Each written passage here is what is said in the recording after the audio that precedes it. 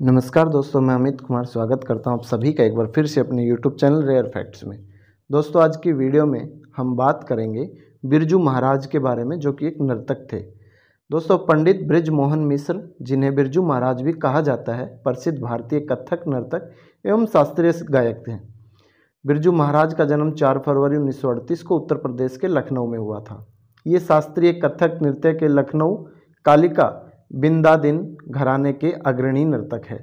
पंडित जी कथक नर्तकों के महाराज परिवार के वंशज हैं, जिनमें अन्य प्रमुख विभूतियों ने इनके चाचा व ताऊ शंभू महाराज एवं लच्छू महाराज तथा इनके स्वयं के पिता एवं गुरु अच्छन महाराज भी आते हैं।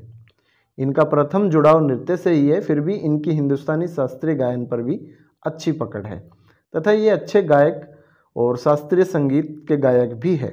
इन्होंने कथक नृत्य में नए आयाम नृत्य नाटिकाओं को जोड़कर उसे नई ऊंचाइयों तक पहुँचाया। इन्होंने कथक हेतु कलाश्रम की स्थापना की है। इन्होंने विश्व पर्यंत भ्रमण कर सहस्त्रों नृत्य कार्यक्रम करने के साथ साथ कथक शिक्षार्थियों हेतु सैकड़ों कार्यशालाएँ भी आयोजित की है।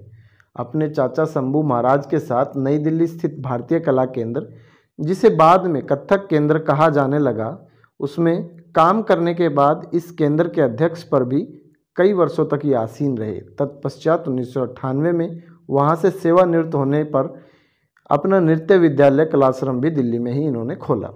दोस्तों, बिरजू महाराज ने मात्र तेरह वर्ष की आयु में ही नई दिल्ली में संगीत भारती में नृत्य की शिक्षा देना आरंभ कर दिया था। उसके बाद उन्होंने दिल्ली में ही भारतीय कला केंद्र में सिखाना आरंभ किया। उन्होंने कुछ समय के पश्चात कथक केंद्र में शिक्षण कार्य आरंभ किया। यहाँ से संकाय के अध्यक्ष थे तथा निदेशक भी रहे। तत्पश्चात उन्नीस सौ अट्ठानवे में इन्होंने वहीं से सेवानिवृत्ति पाई। इसके बाद कलाश्रम नाम से दिल्ली में ही एक नाट्य विद्यालय खोला। इन्होंने सत्यजीत रॉय की फ़िल्म शतरंज के खिलाड़ी की संगीत रचना की तथा उनके दो गानों पर नृत्य के लिए गायन भी किया।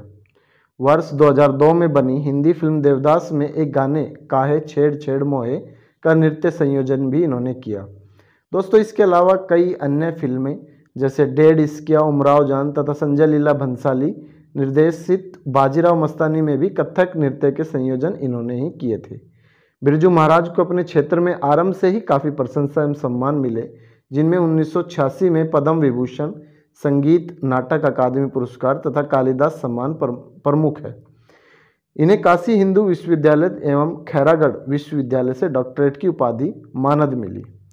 2016 में हिंदी फ़िल्म बाजीराव मस्तानी में मोहे रंग दो लाल गाने पर नृत्य निर्देशन के लिए फ़िल्म फेयर पुरस्कार भी इन्हें मिला। 2002 में लता मंगेशकर पुरस्कार, भरत मुनि सम्मान। 2012 में सर्वश्रेष्ठ निर्दे, नृत्य निर्देशन हेतु राष्ट्रीय फ़िल्म पुरस्कार। फ़िल्म विश्व रूपम के लिए इन्हें मिला। तो दोस्तों, ये थी आज की वीडियो। आई होप आपको वीडियो पसंद आई होगी। दोस्तों, वीडियो पसंद आई तो प्लीज़ मेरे यूट्यूब चैनल को सब्सक्राइब कीजिए। मिलते हैं दोस्तों एक नई वीडियो में बड़े इंटरेस्टिंग टॉपिक के साथ। तब तक के लिए धन्यवाद।